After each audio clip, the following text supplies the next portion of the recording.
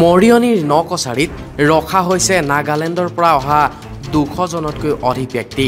এই ব্যক্তিসকল নাগালেণ্ডত কয়লাৰ খনিত কৰ্মৰত আছিল আৰু তেওঁলোকক তাৰ পৰা পঠাই দিয়া হয়। তেওঁলোক নাগালেণ্ডৰ পৰা খোজকাঢ়ি আহি নকছাৰী থানাত উপস্থিত হয়।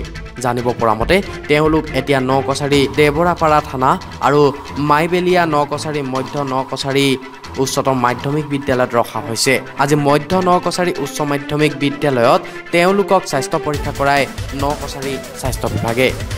এইবিলাক মানুহ চব নাগালেণ্ডৰ পৰা আহিছে। বিভিন্ন ঠাইত কাম কৰি আছিলে তাৰ পৰা আহি পেলাই আজি হঠাতে ইয়াত ওলালি। পৰীক্ষা নিৰীক্ষা চলি আছে। এতিয়া পৰীক্ষা চলি আছে। হয় তেওঁলোকৰ অকণমান মেডিকেল চেকআপ এটা চলি আছে। তেওঁলোকৰ ক'ভিড ৰিলেটেড কিবা সমস্যা আছে নেকি? সেই সমস্যাটো আমি এক্সপ্লেইন কৰিবলৈ চেষ্টা কৰিছোঁ। আৰু সকলোকে বুজাই দিব চেষ্টা কৰিছোঁ যে এইটো কৰাৰ পিছত তেওঁলোকে যাতে নিজকে নিজক ছেফ কৰি ৰাখে কেনেকৈ ক'ভিডৰ নিয়মখিনি মানিব লাগিব ধৰক হাত ধোৱা ছ'চিয়েল ডিষ্টেঞ্চিং তাৰপিছত ঘৰতে থকা বাহিৰলৈ নোযোৱা সেই কামখিনি কৰিবৰ কাৰণে তেওঁলোকক বুজাই দিয়া হৈছে। আৰু কিবা সমস্যা থাকিলে আমাৰ ওৱান জিৰ' ফ'ৰ বা আমাৰ আমাৰ স্বাস্থ্য কৰ্মীক লগ লগত যোগাযোগ কৰিলে তেওঁলোকক পৰামৰ্শ দিয়া হৈছে। আৰু ছাৰ এওঁলোকক আপোনালোকে পৰীক্ষা নিৰীক্ষা কৰাৰ পিছত তেওঁলোকৰ নেক্সট ব্যৱস্থাটো কি কৰিব?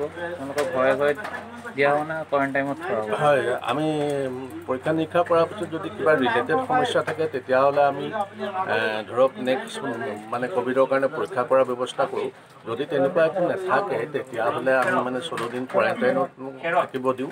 কোৱাৰেণ্টাইনত থকাৰ পাছত যদি এই কোৱাৰেণ্টাইনত থকাৰ পিছত যদি কিবা সমস্যা ওলায় তেতিয়াহ'লে আমি টেষ্টৰ কাৰণে ব্যৱস্থা কৰিম। যদি নোলায় তেতিয়াহ'লে তেখেতক আৰু চৈধ্য দিন তেখেতক কওঁ যে আপুনি নিজে ছেল্ফ কোৱাৰেণ্টাইনত থাকিব। তেওঁলোকৰ ছাৰ ইয়াত খোৱা বোৱা ব্যৱস্থা কৰিছে নেকি?